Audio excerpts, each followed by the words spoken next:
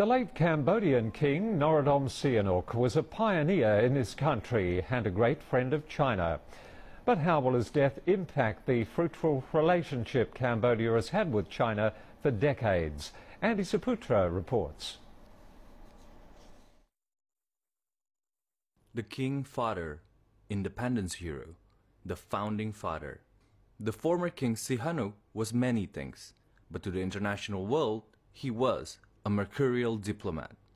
Ascended to throne as a teenager, he quickly embraced and harnessed his political talents and pioneered one of Cambodia's most important ties and arguably his most important legacy.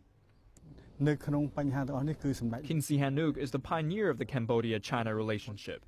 He opened diplomatic channels to China with the vision that China would become an indispensable partner to Cambodia. His vision came to reality, and that strong tie with one of the world's biggest countries has been proved to be crucial to Cambodia's development.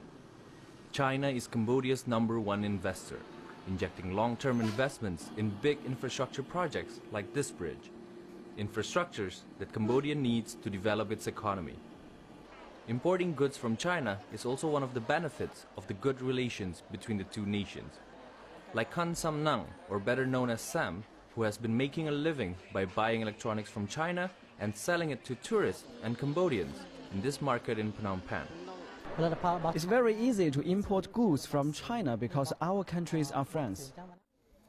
As the mourning for Cambodia's dearest son continues, there is some worry for the future of Chinese-Cambodian relationship, and the benefits that has been enjoyed by people like Sam will cease. This worry, though, has been quelled by the governments from both nations. I believe the relationship will sustain and even grow stronger. Cambodia and China share the same political and economic interests. The present relationship is stronger than ever, and neither countries can afford to lose that partnership. As the people are enjoying the benefits of a fruitful relationship between China and Cambodia, both governments are making sure that King Sihanouk's legacy will continue to be the foundation for an even stronger tie.